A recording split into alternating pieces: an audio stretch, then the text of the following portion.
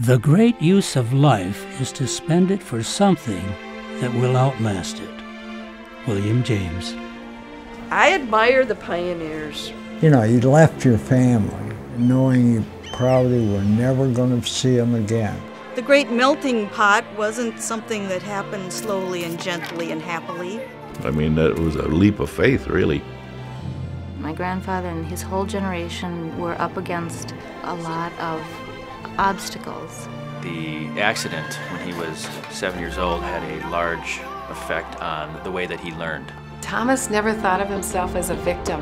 The United States was a land of opportunity. A small town farm kid could become anything he set his mind to. He was a student, he was a scholar. Everybody looked up to him, he's like an icon. He did a lot for the community, he did a lot for individuals. The great use of life is to spend it for something that will outlast it. And it is my prayer that one day people may look back on my life and consider it in balance with those astute words.